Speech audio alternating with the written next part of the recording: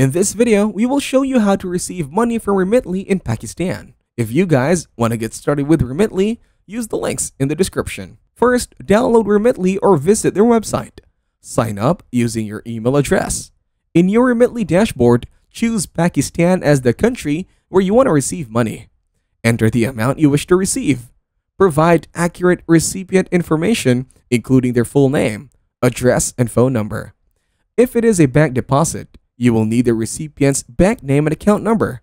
The funds are transferred directly to a local bank account.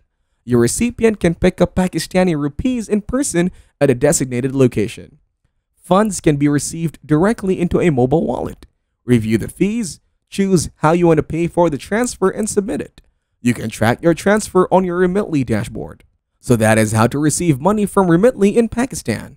Use the links down in the description to get started with Remitly.